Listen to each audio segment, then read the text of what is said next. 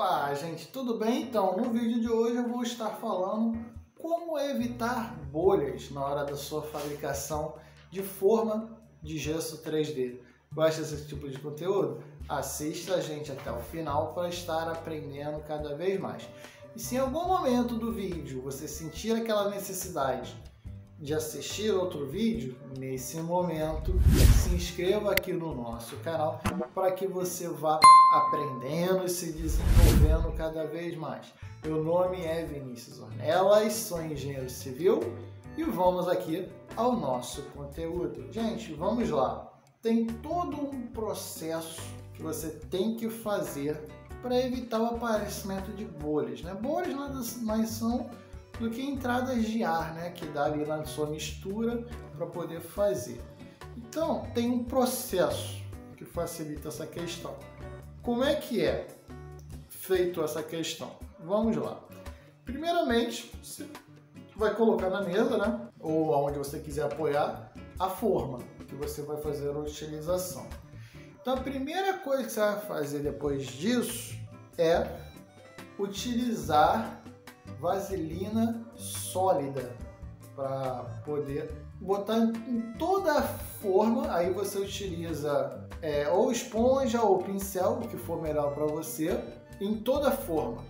Você vai aplicar nela inteira. Por que eu faço isso? Vamos dizer assim.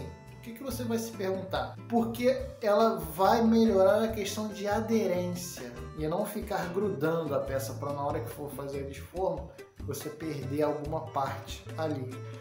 Então não tem, já você já está tirando de cara a questão do atrito entre a forma e a mistura, né, que você vai fazer. Então nesse sentido, aquele, aquela películazinha que poderia ter ali entre elas, poderia gerar ar, você já eliminou.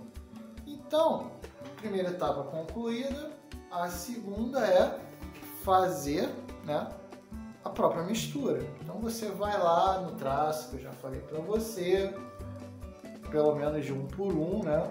A mesma quantidade de gesso a mesma quantidade de água, tudo medido, tudo certinho.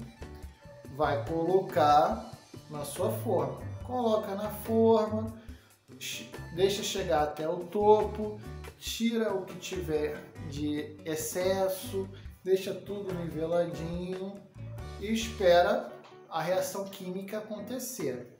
Quando você sentir que está esquentando, começou a ficar quente, naquele momento é onde você vai fazer a desforma. Você vai fazer a desforma e vai colocar né, na sua prateleira ali, que nem eu falei, para poder aguardar a peça e depois vou fazer a limpeza da forma, de se tiver tido algum tipo de sujeira, excesso, ou fabricar a próxima peça. É básico, mas é o procedimento que eu estou falando que se você fizer dessa maneira, vai evitar o aparecimento de bolhas. Faz o teste para vocês verem.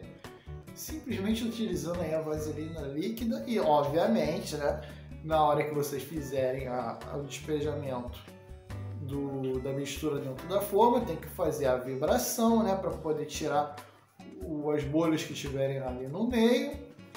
Né, tem que obrigatoriamente tem que fazer a vibração, aí pode ser com o vibrador, que pode ser aquele de utilizado em obra, de pequena escala também, e ou com algumas vibrações na própria mesa, ó, onde você apoiou já é o suficiente para poder fazer essas questões também, para ir liberando o ar de dentro da mistura. Aí ela vai entrar em suspensão, vai chegar na superfície e vai evaporar rapidamente, por causa desse calor. O calor é que faz também né, as moléculas se agitarem, então elas vão subindo para a superfície, ela fica no nível superficial e evapora. E aí você tem essa questão acontecendo, onde não surge a bolha por causa disso, tá? É, a, é o comportamento térmico que faz isso acontecer. Você nem percebe, ele, mas ele age ali de maneira muito homogênea, fazendo dessa maneira. Espero que vocês tenham gostado desse tipo de conteúdo e não marquem bobeira. Se inscrevam aqui no nosso canal para que você esteja crescendo e se desenvolvendo cada vez mais. Espero vocês no nosso próximo vídeo, gente.